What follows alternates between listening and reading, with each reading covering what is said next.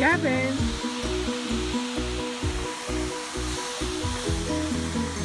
Are you taking a video? Yes. Hello.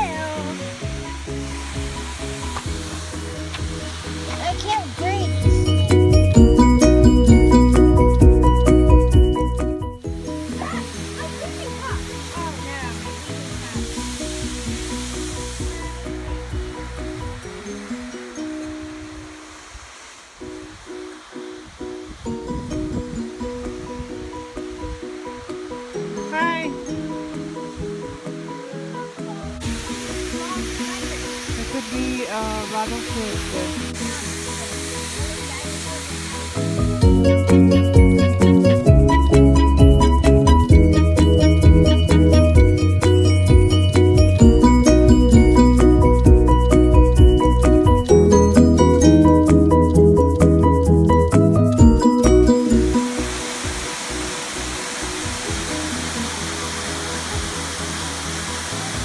Thank